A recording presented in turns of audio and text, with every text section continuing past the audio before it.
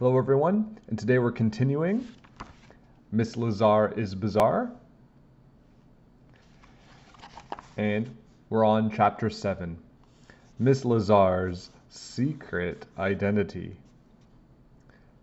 The next day, that kid Robbie, who sits in front of me, didn't come to school again. Miss Daisy told us he had chickenpox, which is a dumb disease that makes no sense because you can get it even if you never touch a chicken. After we finished pledging the allegiance, we made get well cards for Robbie. Andrea made a picture of a smiling Robbie with butterflies and flowers around him. I made a picture of Robbie sword fighting with a chicken and chopping its head off. While we were drawing our pictures, we started talking about Miss Lazar. Do you think Miss Lazar is a real superhero? Ryan asked. Well, she did kill the ghost in the toilet, Michael said, so we know she has superpowers. She's got a uniform with letters on it, too, I said. Superheroes always wear cool uniforms. They always have a secret place they go when they need to be alone, said Ryan. Miss Lazar has a secret room down in the basement. I didn't think Andrea and her little nosy girlfriends were listening to us, but of course they were. You boys are silly dumbheads, said Andrea. Miss Lazar isn't a superhero. Yeah, agreed Emily. She's just a custodian. Andrea thinks she knows everything, but I bet I know a whole lot more about superheroes than she does, because I have lots of superhero comic books at home. And I was sure that Miss Lazar was a superhero. Maybe Miss Lazar isn't a custodian at all, I said. Did you ever think of that? Superheroes always have a secret identity. Like Superman is really Clark Kent, and Batman is really Bruce Wayne, and Spider Man is really Peter Parker. Maybe being a custodian is just Miss Lazar's secret identity. Yeah, said Ryan, and maybe Robbie doesn't really have chickenpox either. Maybe he's locked in the secret room in Miss Lazar's office. Stuff like that happens all the time, you know. Maybe Robbie was the kid who put the crayons down the toilet, I said. Maybe he got caught. Miss Lazar told us she keeps the bad kids in the secret room. Stop, stop trying to scare us, Emily, said Andrea. Remember last year when that kid Steven moved away? Michael asked. Maybe he didn't move away at all. Maybe he was bad. Maybe Steven and Robbie are locked in the secret room in Miss Lazar's office. We've got to do something, said Emily, and she went running out of the class.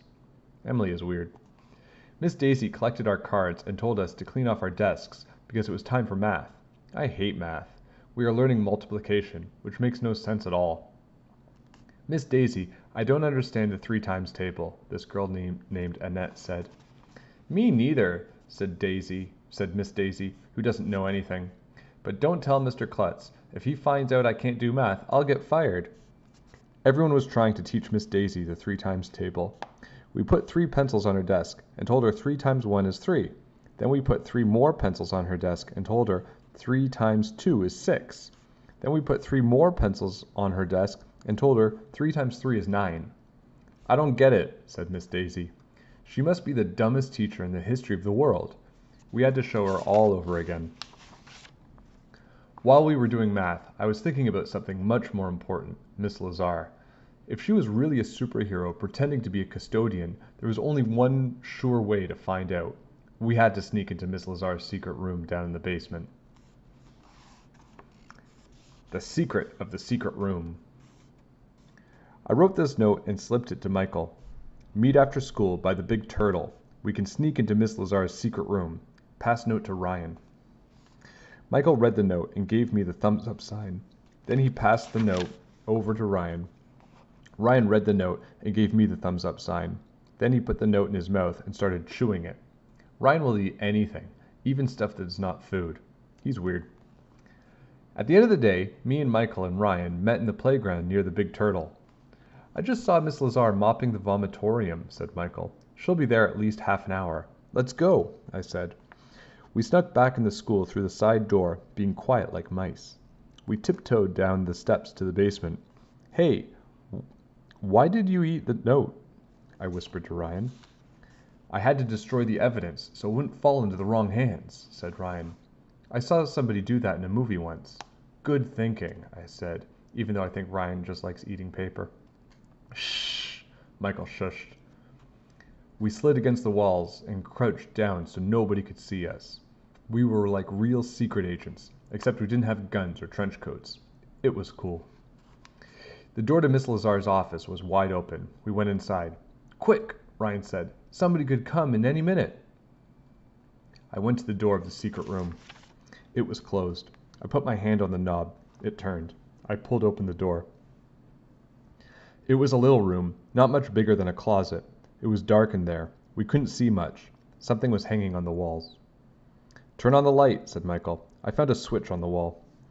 You'll never guess in a million hundred years what was hanging all over the walls in Miss Lazar's secret room. I'm not going to tell you. Okay, okay, I'll tell you. Toilet bowl plungers. There must have been about 20 of them. There were big plungers and little plunger, plungers, fat plungers and skinny plungers, plungers in every color. Some of them had little cards next to them explaining what company made the plunger and what year it was made. It was like a museum of toilet bowl plungers. Wow, I said. Miss Lazar really likes toilet bowl plungers. My mom collects glass paperweights, and my Uncle Eric collects old radios, but I never heard of anyone who collected toilet bowl plungers. That's a weird thing to collect. We closed the door to the secret room and got her there fast. Miss Lazar is bizarre. All right. I hope you're liking it as much as I am. I'll see you next time.